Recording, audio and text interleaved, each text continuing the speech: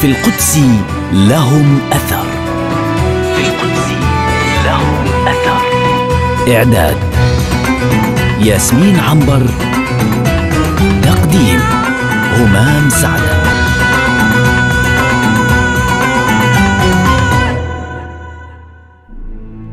حرص العثمانيون في عهد حكمهم القدس على إنشاء التكايا الخيرية لرعاية من لا عائل لهم.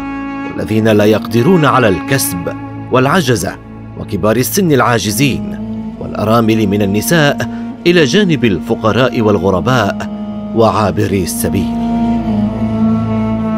مسجد المولوية أو التكية كما سماها العثمانيون هي أحد هذه التكايا الخيرية التي أنشأها الأتراك بنوه داخل أسوار البلدة القديمة لمدينة القدس.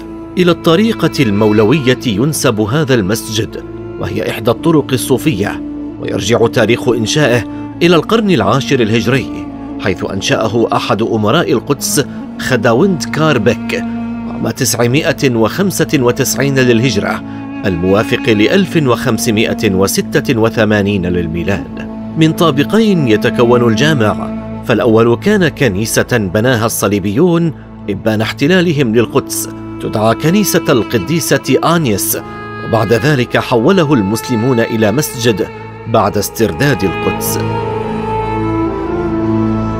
الطابق الثاني في المسجد بناه العثمانيون كما بنوا أيضا مئذنته وبعض الغرف الملحقة به شرقي ساحته المكشوفة ويستخدم الجامع الآن في الصلاة كما تقيم بعض الأسر الفلسطينية في بعض غرفه. في العهد العثماني اضمحلت المدارس فانتعشت الزوايا والتكايا التي أصبحت ملجئا للفقراء على مر العصور والأزمان وازداد عدد الصوفيين والدراويش.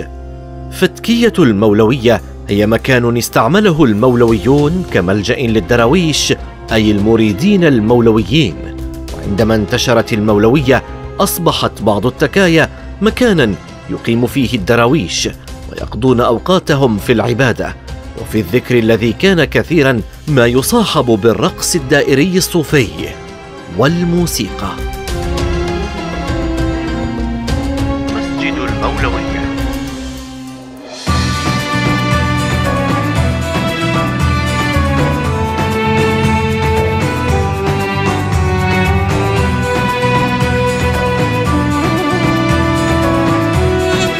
في القدس لهم أثر. في القدس لهم أثر. إعداد ياسمين عنبر. تقديم همام سعده